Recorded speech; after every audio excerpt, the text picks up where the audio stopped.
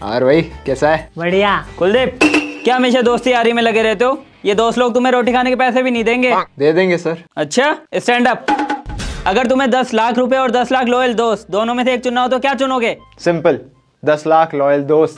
ये ज़िंदगी भर बेरोजगार ही रहेगा हाँ। फिर मैं अपने हर एक लॉयल दोस्त से पाँच रुपए मांगूँगा। और क्योंकि वो लॉयल है वो दे ही देगा। है ना? अभी ले भाई। तो मेरे पास हो गए पचास लाख रुपए।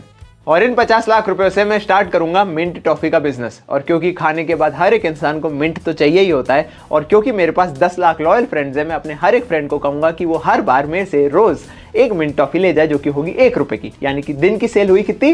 दस लाख। महीने की सेल हुई कितनी? तीन करोड़। साल की सेल हुई कितनी? छत्तीस करोड़। छत्तीस करोड़ में रोटी आई जाएगी, सर। इसलिए पढ़ाई छोड़ो और खूब सारे दोस्त बनाओ। क्योंकि This is business.